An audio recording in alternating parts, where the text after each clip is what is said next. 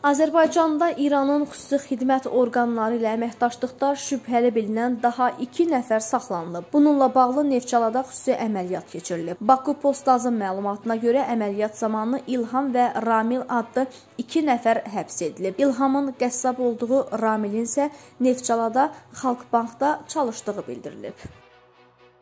Fazil Mustafa yaxın saatlardan sonra telefon zənglərinə özü cavab verəcək. Jurnalistlərin müəyyən suallarını cavablandıracaq. Bu barədə Lentaza ötən gün güllə yarası alan Milli Məclisin deputatı Fazil Mustafanın köməkçisi Əjdər Əliyev deyib. O istintaqın davam etdiyini və çox yaxın müddətdə ictimaiyyətə bununla bağlı məlumat veriləcəyini bildirib. İstintaq prosesi aparılır. Bu dövlətin diqqətində olan məsələdir. Çox qısa müddətdə ictimaiyyətə istintaqla bağlı məlumat veriləcək. Fazil bəyin sağlamlığı barədə heç bir problem yoxdur. Hər şey qaydasındadır. Növbəti əməliyyat gözlənilmir. Hələ ki, evə buraxılacağı tarix bəlli deyil. Əjdər Əliyev son zamanlar Fazil Mustafanın təhdid mesajları aldığını açıqlayıb. Fazil bəyə qarşı kifayət qədər təhdidlər olmuşdu.